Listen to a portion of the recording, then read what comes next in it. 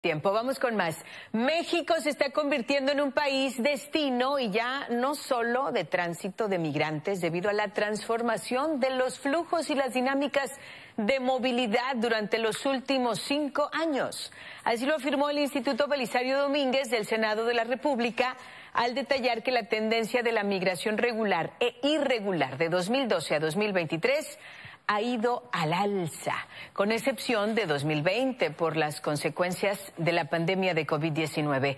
En su estudio Panorama en cifras de la migración internacional en México, elaborado por la investigadora Susana Ramírez, subrayó que de acuerdo con datos de la Unidad de Política Migratoria, registro e identidad de personas, en 2022 se estimó un total de 441.409 personas en situación migratoria irregular en nuestro país.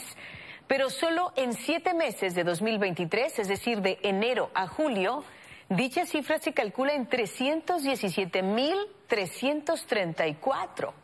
La investigación del Instituto Belisario Domínguez señala que diversos factores económicos, laborales, recreativos, académicos, políticos, demográficos y de acceso a derechos humanos están influyendo en la necesidad e interés de las personas extranjeras en transitar o asentarse en el país.